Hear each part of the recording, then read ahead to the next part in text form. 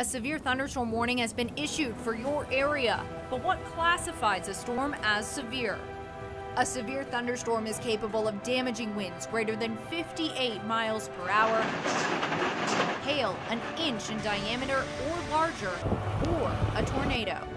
The criteria is determined by the National Weather Service and is the same regardless of what state or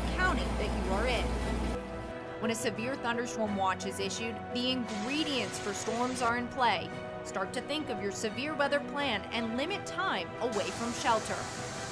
In a severe thunderstorm warning, severe weather is happening or is imminent. You should head to the most interior room of your home, away from windows or doors, to wait out the storm. NWS offices will include a damage threat tag in the warning to indicate the intensity of the storm.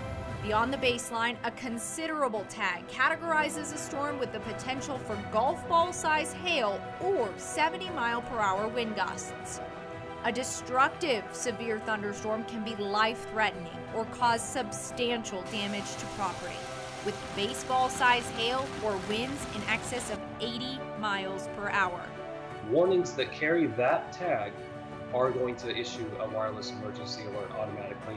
It'll come to your phone with a specialized message on whether that's a wind or a hail threat, and the size of the hail and the speed of the wind. Roughly, only 10% of storms reach the destructive category each year, including large supercell tornadoes or long lived wind events like derechos. For the latest on your severe weather forecast, head to weathernationtv.com. For Weather Nation, I'm meteorologist Lucy Bergemann.